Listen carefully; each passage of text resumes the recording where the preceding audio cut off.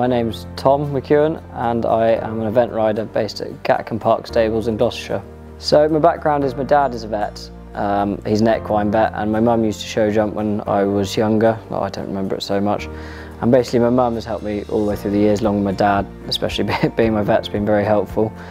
Uh, and it's all come about from a pony called Con. Uh, he was ridden by Matthew Wright, um, he was an event rider uh, and he started him off and then went to a lady called Sally Dawson up in Manchester and then we got him in his twilight years, or his later years, twilight years would be the wrong way to describe it.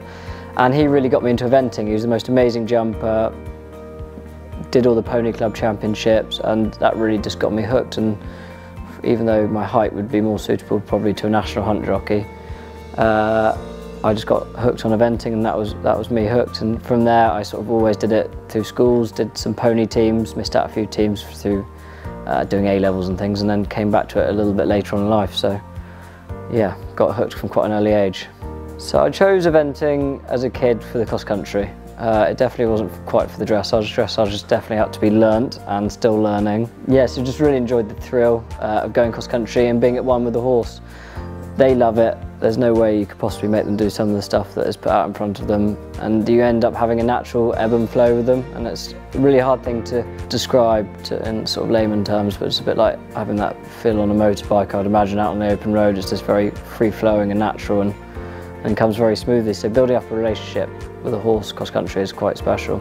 Probably biggest achievement for me would be the Olympics still because it's the only thing that really the wider public understand of sporting achievements within our world. I've got a lot of sort of friends that are non-horsey and actually some of the stuff that I'm doing they have absolutely no clue what I'm on about. To show them actually what I've been doing and achieving and for me going somewhere like Tokyo was ultra special and especially with someone like Toledo de Kerser who I've had since he was about six years old. So all the way through with, with him has been really special and he's been my first real high quality top horse and he's been amazing so yeah forever thankful.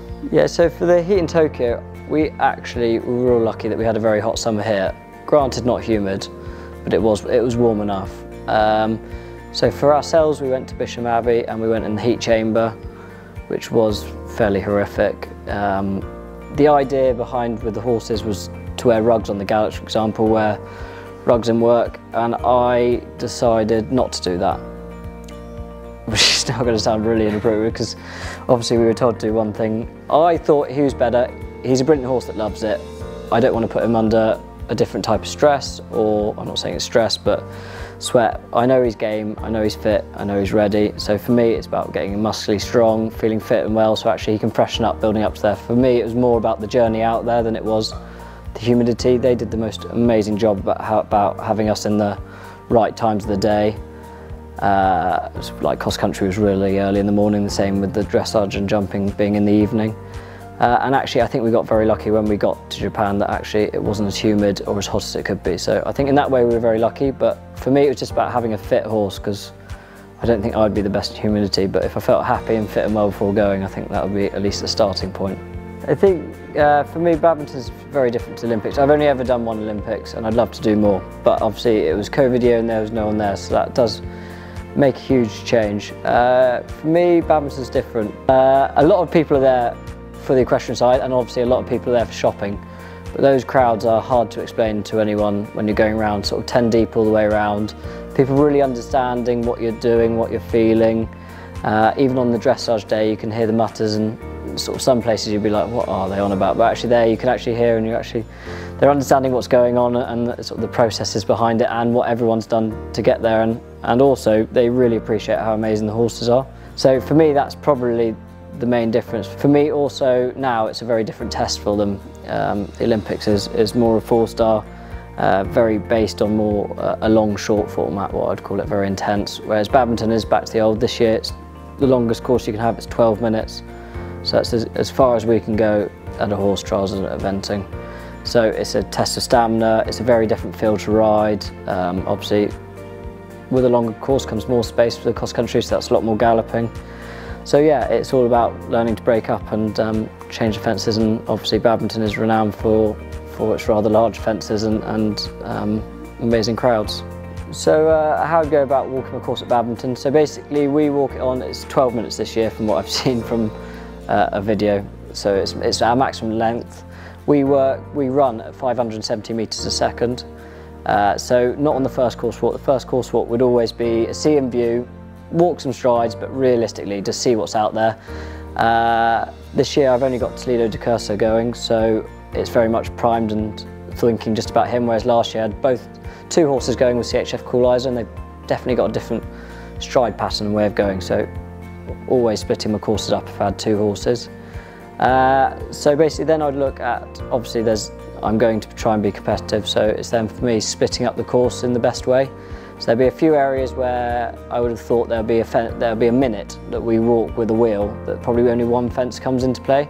So realistically, no, there I know that I'll probably be behind the clock and be building uh, again to try and get back again on, the time. Whereas there'll be other sections, i.e. the lake, that would be quite intense and it's quite often now quite loopy to give the crowd a little bit more time um, to view the horses coming past. So it's a little bit like walking courses and lines like that. I've known Toledo for years now, so we've got an amazing partnership. So I sort of roughly know what he's going to do where, but that doesn't mean that you're not going to make a mistake. Um, for example, last year I made a mistake because I came too quick to the solar panels and uh, cost us having a fall. But realistically, in hindsight, all I need to do is come a little bit slower and collected and just change a few things. So this year also at Badminton, it's taking a slightly new layout. So I'd always know that from the Vicarage Vee area, which is the furthest point away realistically from the main arena, which is start and finish, you'd always lose a lot of time there. And then you'd gain up the closer you came back to home, but there would also be a point where you couldn't gain any more time. Uh, that's sort of more looking at the time aspect. Uh, the course aspect, uh, I've got a great draw this year. I'm 48th out of however many starters, so I've got plenty of time to watch a few horses, and I do quite often like watching a couple of horses go around and getting the idea and feel of it. Uh, but it's a little bit like finding my lines, finding a rhythm, and actually doing everything that we practice, not with Toledo in the school because he doesn't like doing schoolwork, but what we do cross-country schooling and, and what we've done at competitions. So it's finding the right lines that are positive enough without taking too much risk and just getting everywhere that he understands each and every question. Pressure's a funny one because I wouldn't say people probably look at me from the outside don't think I probably get too nervous, but actually for me, uh, you obviously everyone gets nervous, nervous excited, nervous, nervous, however you want to look at it. But I get more nervous about letting the horses down. Uh, so for me, I know all the work we've done. I wouldn't go if we didn't think we were, were good enough uh, already uh, for the for the task or questions ahead. So for me, I know like Toledo de Kerser, probably one of the best horses in the world. And for me, I just want to do the best job. So it's reading the lines right on the cross country so you don't let them down making sure that actually the nerves don't affect me so then on dressage I can perform as well as I can so we can get the most out of our test to get each and every point back so um, we can do as well as we can. Um, and realistically I just don't really want to let him down as a horse um, and that's, that's sort of probably my main reasons for nerves. So we're really lucky at Gatcombe that we have got hills everywhere so we get up and down hills. Uh, fitness wise they canter twice a week um, we're very lucky again on the opposite side of the golf course, which is uh, a good 10, 10 15 minute hack, is um, the Gallops Aston Farm that we use. Uh, they will do that, they go up the Gallops twice a week um, for a few months building up, so it's a slow, slow progression like we would do for ourselves in the gym.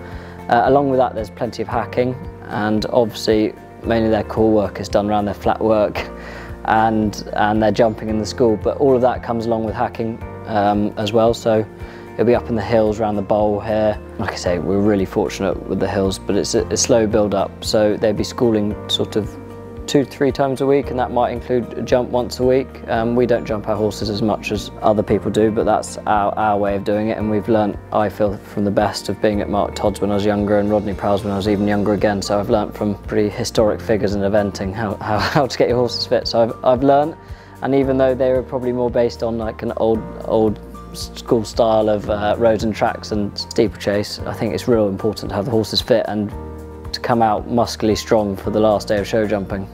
For me, the horses can only go around so much, they've got their own fitness to do, but you need to then be able to work on yourself outside.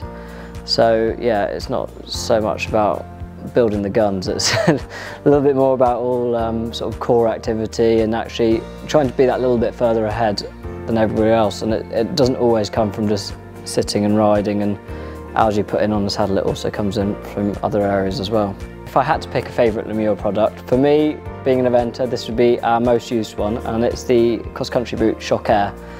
Uh, as you can see, this is not fresh out of the packet. This is probably a few seasons old, and I can promise you these take a lot of wear and tear from the horses. They're used a lot, they go in the washing machine, um, they're really used and abused by us in, in the nicest possible way, and for us, it's great protection for the horse, while there's great airflow for their legs and tendons and for me I wouldn't go cross country without them.